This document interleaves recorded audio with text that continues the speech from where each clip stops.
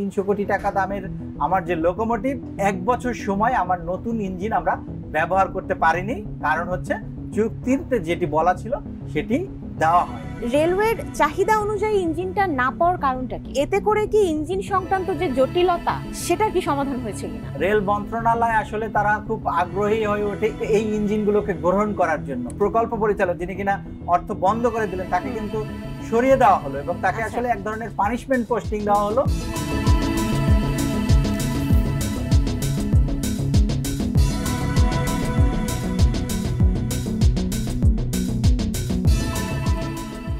এক বছর ফেলে রাখার পর দক্ষিণ কোরিয়া থেকে আনা দশটি ইঞ্জিন অবশেষে চালু করেছে বাংলাদেশ রেলওয়ে।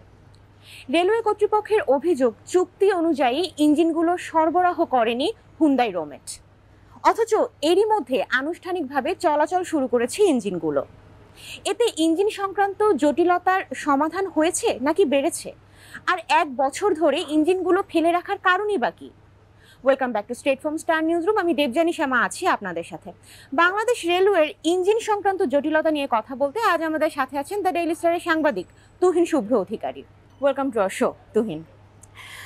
Tuhin, আমরা তো অলরেডি জানি যে দক্ষিণ কোরিয়া থেকে দশটি ইঞ্জিন আনা হয়েছে সেটা গত বছরের সেপ্টেম্বরে। কিন্তু এই এক বছর পর গিয়ে ইঞ্জিনগুলো এখন চালু হচ্ছে। এই এক বছর ধরে ইঞ্জিনগুলো ফেলে রাখা হলো কেন বা ফেলে রাখার কারণটা কি? আসলে দু হাজার পনেরো সালে বাংলাদেশ রেলওয়ে সাতশো তেত্রিশ কোটি টাকার একটি প্রজেক্ট গ্রহণ করে। সেই প্রজেক্টের আওতায় প্রায় তিনশো কোটি টাকা ব্যয়ে দক্ষিণ কোরিয়ার কোম্পানি হুন্দাইয়ের কাছ থেকে এই দশটি লোকোমোটিভ অর্থাৎ রেলওয়ের ইঞ্জিন ক্রয় করে বাংলাদেশ রেলওয়ে। তো গত বছরের সেপ্টেম্বরে এই দশটি লোকোমোটিভ অর্থাৎ আমাদের চট্টগ্রামের পোর্টে এসে নিয়ে আসা হয়। এরপর থেকে প্রথম প্রায় আট মাস একেবারে ফেলে রাখা হয়েছিল। অর্থাৎ এপ্রিল পর্যন্ত এটি কোনোভাবে ব্যবহারই করা হয়নি। তারপরে এপ্রিল থেকে অক্টোবরের চার তারিখ আনুষ্ঠানিকভাবে শুরু হওয়ার মধ্যবর্তী সময়ে ট্রায়াল বেসিসে কিছুটা চালানো হয়েছিল। যে লোকোমোটিভগুলো নিয়ে আসা হলো, এরপর এগুলোকে ব্যবহার করার জন্য কতগুলো প্রক্রিয়া আছে। অর্থাৎ যখন আমাকে প্রজেক্ট থেকে এটি নিয়ে আসা হলো, তখন এটি প্রজেক্ট থেকে এটি কিন্তু হস্তান্তর করতে হয় রেলওয়ের কাছে। রেলওয়ে তারপর এটি ব্যবহার করা শুরু করে। তো সেইখানে একটি প্রক্রিয়া হচ্ছে প্রথমে একটি কমিশনিং কমিটি আছে। তারা আসলে দেখে যে আমি যেটি কিনে আনলাম সেটার সাথে আমি যেটি পেলাম সেটা ঠিক আছে কিনা। তো এই কমিশনিং কমিটি তাদের রিপোর্টে বলছে যে আসলে যেটি আমরা কিনেছি চুক্তিতে যেটি দেওয়ার কথা ছিল ঠিক সেই লোকোমোটিভ আসেনি। তারা বলল যে চারটি যন্ত্রাংশ এর মধ্যে একটি উল্লেখযোগ্য হচ্ছে অল্টারনেটর সে সহ এই চারটি যন্ত্রাংশ আমরা চুক্তিতে যেটি ছিল সেটি তারা সরবরাহ করেনি। ফলে এখান থেকে কিন্তু সমস্যাটার শুরু হলো। এরপর এই প্রক্রিয়াটি আসলে আরও অনেক দূর অগ্রসর হয়। তখন রেলমন্ত্রী বললেন যে ঠিক আছে এটিকে একটি তদন্ত করা প্রয়োজন। সেই এডিশনাল সেক্রেটারি নেতৃত্বে তদন্ত হয়। সেই তদন্ত শেষ হয় ফেব্রুয়ারি মাসে বছরের ফেব্রুয়ারি মাসে এবং তদন্তেতে আসলে যে অভিযোগ করা হয়েছে তারা বলে তার সত্যতা পায় এবং তারা বলে যে এই যে তার সঠিক যে আমার যে চুক্তি চুক্তি অনুযায়ী যে হুন্দাই সরবরাহ করেনি সেই জন্য তার বিরুদ্ধে ব্যবস্থা নেওয়ার জন্য তারা রিকমেন্ড করে। এরপর রেলওয়ে যেটি করে সেটি হচ্ছে যে আচ্ছা চুক্তি অনুযায়ী দেয়নি তারপরেও এটি কি ব্যবহার করা যায় কিনা? সেটি দেখার জন্য রেলওয়ে আরেকটি কমিটি করে সেটিকে তারা বলছে টেকনিক্যাল কমিটি রেলওয়ে পূর্বাঞ্চলের যে প্রধান মেকানিক্যাল ইঞ্জিনিয়ার আছেন তার নেতৃত্বে সেই কমিটি হয় এবং তারা যেটি হচ্ছে যে তারা তদন্ত করে তারা বলছে যে আসলে এটি তো ডিজাইন রিলেটেড ইস্যু এই বিষয়ে আমরা আমাদের মন্তব্য আমরা দেওয়ার মতো ক্যাপাবল না। এবং তারা যেটি বলছে যে এটিকে একটি ইন্ডিপেন্ডেন্ট রিভিউ করা দরকার সেটি দেশীয় কাউকে নিয়োগ করে অথবা আন্তর্জাতিক পর্যায়ে কাউকে নিয়োগ করার জন্য। তখন রেলওয়ে একজন সাবেক আমলা অর্থাৎ সাবেক এডিশনাল সেক্রেটারিকে যিনি কিনা এর আগে রেলওয়েতে কাজ করেছেন তাকে নিয়োগ দেয় ইন্ডিপেন্ডেন্ট রিভিউয়ার হিসাবে। তিনি আসলে এই ইঞ্জিনগুলো গ্রহণ করার পক্ষে মত দেন যদিও এটি নিয়ে প্রশ্ন আছে যে একজন সাবেক রেলওয়ের কর্মকর্তা কিংবা একজন সাবেক আমলা তিনি এই ধরনের রিভিউ করতে পারেন কিনা। এ নিয়ে প্রশ্ন আছে কিন্তু সেই ব্যক্তি যখন সেই রিভিউয়ার যখন মতামত দিলেন যে এটি গ্রহণ করা যাবে তখন কিন্তু রেলওয়ে সেটি সাদরে গ্রহণ করল এবং এবছরের চার অক্টোবর থেকে তারা আনুষ্ঠানিকভাবে রেলের ফ্লিটে এইগুলোকে যুক্ত করে এবং সেটিকে তারা ব্যবহার করা শুরু করে। ফলে এই যে তদন্ত, তদন্তের পরে আরও তদন্ত, তারপর রিভিউ, এই প্রক্রিয়াগুলো সম্পন্ন করার জন্য একটা বিরাট সময় চলে গেছে।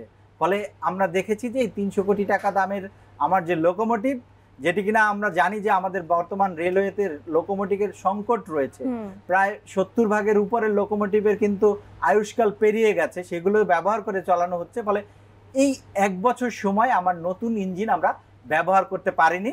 কারণ হচ্ছে চুক্তিতে যেটি বলা ছিল সেটি দেওয়া হয়নি। তুহিন বাংলাদেশ রেলওয়ের অভিযোগ যে চুক্তি অনুযায়ী এই ইঞ্জিনগুলো সরবরাহ করা হয়নি হুন্দাই সরবরাহ করেনি। তো রেলওয়ের চাহিদা অনুযায়ী ইঞ্জিনটা না পাওয়ার কারণটা কি? যখন হুন্দাইয়ের সাথে চুক্তি হয় চুক্তি হওয়ার পরে তারা একটা নির্দিষ্ট সময় পায় এই ইঞ্জিনগুলো তৈরি করার জন্য।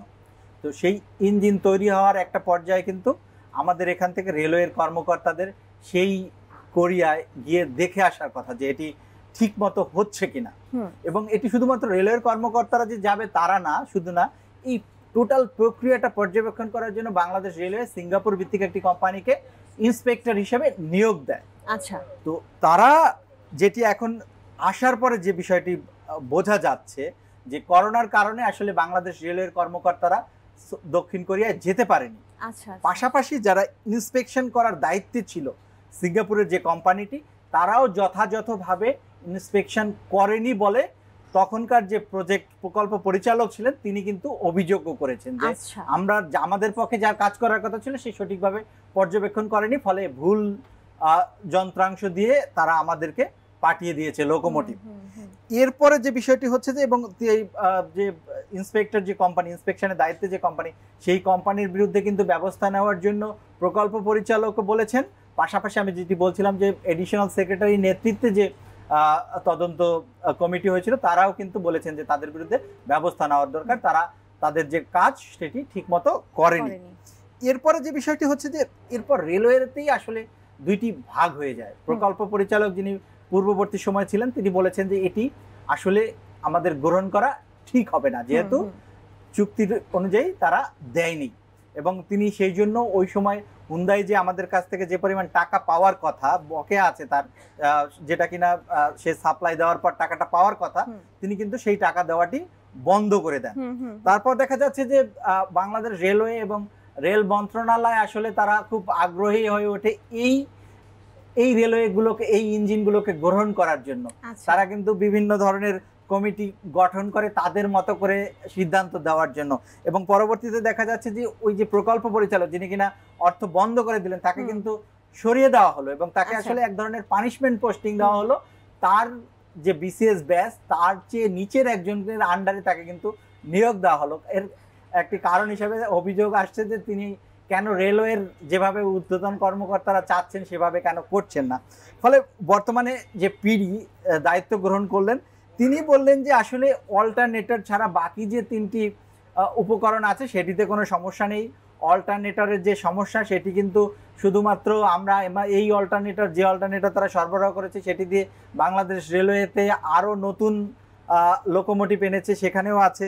আর যদি চুক্তিতে যে অল্টারনেটর দেওয়ার কথা ছিল সেটি যদি ব্যবহার করা হয় তাহলে লোকোমোটিভের ওজন বেড়ে যাবে।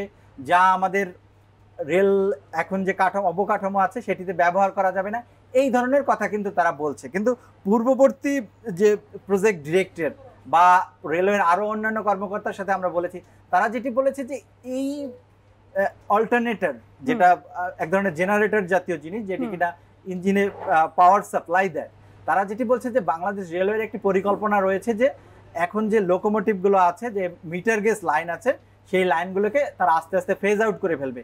পরবর্তী সময় সব হবে ব্রড গেজ তো এই লোকোমোটিভগুলো আমি এখন যে মিটার গেজ লোকোমোটিভগুলো এনেছি এটির একটি নির্দিষ্ট পরিমাণ যন্ত্রাংশ চেঞ্জ করে যাতে করে আমার ব্রড গেজে ব্যবহার করা যায় সেই জন্যই কিন্তু ওই বিশেষ ধরনের অল্টারনেটরের কথা চুক্তিতে বলা ছিল। ফলে এখন আমরা যে অল্টারনেটরটা ব্যবহার করব যেটি হুন্দাই আমাদেরকে সরবরাহ করেছে সেটি ব্যবহার করে আমাদের যে উদ্দেশ্য ছিল যে এটিকে আমরা কনভার্সন করব ব্রড। গেজে সেটি সম্ভব হবে না। তারা আরেকটি জিনিস যে বলছে যে এরপরে এই যে প্রকল্প শেষ হয়ে গেল এরপরে কিন্তু এটার কিন্তু একটা এভালুয়েশন হবে। সেই পর্যায়ে এসে চুক্তি অনুযায়ী যে আমাদের জিনিসপত্র সরবরাহ করল না এবং আমরা সেটি গ্রহণ করলাম সেটি কিন্তু সেই অডিটে গিয়ে আমাদের রেলওয়েকে কিন্তু সেটির প্রশ্নের মুখোমুখি হতে পারে। তো এই সব কারণ মিলিয়ে কিন্তু দেখা যাচ্ছে যে একটা জটিল প্রক্রিয়ার মধ্য দিয়ে গিয়েছে এবং হুন্দাই রোটেম কিন্তু সেই আহ, আমাদেরকে কিন্তু চুক্তি অনুযায়ী কিছু যন্ত্রপাতি পরিবর্তন করে আমাদেরকে সরবরাহ করতে পেরেছেন। আসলে এখন যেটি বলতে হচ্ছে যে রেলওয়ের একটি কর্তৃপক্ষ বা রেলওয়ের একটা অংশ মনে করে যে এটি গ্রহণ করা যায়। ফলে তারা কিন্তু চুক্তি অনুযায়ী সরবরাহ না করেও একটি জিনিস আমাদেরকে গছিয়ে দিতে পারল। আমরা সেটাই দেখতে পাচ্ছি তুহিন। আনুষ্ঠানিকভাবে এই ইঞ্জিনগুলো কিন্তু চলাচল শুরু করে দিয়েছে। কিন্তু আমার প্রশ্ন হচ্ছে এতে করে কি ইঞ্জিন সংক্রান্ত যে জটিলতা বাংলাদেশ রেলওয়ের সেটার কি সমাধান হয়েছে কিনা? যদি এক কথায় বলি সেটি আসলে সমাধান হচ্ছে না। আসলে দেখুন এই যে আমি যেটি বললাম যে এক বছরের অধিক সংখ্যক একটা প্রক্রিয়া চলছে এর মধ্যে কিন্তু বাংলাদেশ রেলওয়ে কিন্তু হুন্দাইকে বলেছে যে তোমরা যে অল্টারনেটরটা দিয়েছ। এটা তো আমাদের চুক্তি অনুযায়ী হয়নি তোমরা এটি পরিবর্তন করে দাও। তো তারা যেটি বলছে হুন্দাই বলছে যে আমরা আসলে এটি পরিবর্তন করতে পারব কি পারব না সেটি কনসিডার করার জন্য আমাদেরকে ছয় মাস সময় দিতে হবে। ফলে তারা কিন্তু এখনও বলেনি যে তারা এটি পরিবর্তন করে দেবেন কি দেবেন না। ইতিমধ্যে কিন্তু আমরা আনুষ্ঠানিকভাবে এটিকে কার্যক্রম শুরু করে দিলাম। ফলে আহ, বর্তমান প্রকল্প পরিচালক আমাকে যেটি বলছেন যে তারা আসলে এই অল্টারনেটরের যে টাকা যে পরিমাণ টাকা দাম সেটি বাদ দিয়ে বাকি টাকাটা তারা দিয়ে দিতে চায় এখনই। কারণ হচ্ছে এটি জায়গায় এখানে একটি জটিলতা যেটি তৈরি হয়েছে যে আপনাকে আমি বলেছি যে এই লোকোমোটিভগুলো কিন্তু কেনা হয়েছে এশিয়ান ডেভেলপমেন্ট ব্যাংকের টাকা থেকে মানে তাদের থেকে লোন নিয়ে। ফলে এই যে লোনের একটা নির্দিষ্ট পিরিয়ড আছে সেই পিরিয়ড কিন্তু জুন মাসে শেষ হয়ে গেছে। এখন চার মাসের তাদের গ্রেস পিরিয়ড সেটিও কিন্তু অক্টোবরে একত্রিশ তারিখ শেষ হয়ে যাবে। ফলে এই যে যে রেলওয়ে যে সিদ্ধান্ত নিয়েছে যে তারা আংশিক কেটে রেখে টাকাটা দিতে চায় এইটি এইটার জন্য কিন্তু এডিবির সিদ্ধান্ত গ্রহণ করতে হবে এডিবির মতামত নিতে হবে সেটি তারা সেই মতামত নেওয়ার জন্য গত বছর এই গত মাসে তারা এডিবিতে পাঠিয়েছেন এডিবি গত পঁচিশ তারিখ পর্যন্ত কোনো ধরনের মতামত দেয়নি অর্থাৎ আর কিন্তু পাঁচ দিন সময় আছে এর মধ্যে কিন্তু এডিবিকে লোন রিলিজ করতে হবে আচ্ছা। অথবা রিলিজ করার জন্য এগ্রিমেন্ট এ আসতে হবে। না হলে কিন্তু যদি বলে এডিবি যে আমরা এটা দিব না লোন তখন কিন্তু রেলওয়েকেই কিন্তু নিজস্ব টাকা থেকে এই লোন দিতে হবে। লোনের টাকা পরিশোধ করতে হবে। ফলে তখন কিন্তু আর এক ধরনের জটিলতা সৃষ্টি তৈরি হবে। ফলে এবং আরও একটি যে বিষয়টা আমি বলেছি যে অডিট হবে সেই অডিটেও এই যে যে চুক্তির বাইরে গিয়ে গ্রহণ করার যে যে প্রক্রিয়াটি সেই প্রক্রিয়াটি কিন্তু প্রশ্নবিদ্ধ হতে পারে বলে অনেকেই বলছেন। ফলে আপাত দৃষ্টিতে লোকোমোটিভগুলো ব্যবহার শুরু হলেও এই সংক্রান্ত জটিলতা একেবারে শেষ হয়ে গেছে এটা বললে ঠিক হবে না। ইঞ্জিন সংক্রান্ত জটিলতার সমাধান তো একদিন না একদিন হবে। কিন্তু এই যে তিনশো কোটি টাকা লোনে কেনা, এই যে দশটি ইঞ্জিন এক বছর ধরে ফেলে রাখা হলো এবং দেশবাসী এক বছর ধরে এর সেবা পেল না, বঞ্চিত হলো, এর জবাব কে দেবে? ধন্যবাদ তুহিন আমাদের সাথে যুক্ত হওয়ার জন্য। তা রেলস্টারের নিউজ এবং এক্সপ্লেইনার ভিডিও নোটিফিকেশন পেতে এখনই সাবস্ক্রাইব করুন আমাদের ইউটিউব চ্যানেল এবং বেল আইকনটি চাপুন। ভিডিওতে লাইক দিন কমেন্ট করুন এবং শেয়ার দিয়ে আমাদের সাথেই থাকুন। Don't forget to like our Facebook page straight from star news room will be right back with more answers till then stay healthy stay safe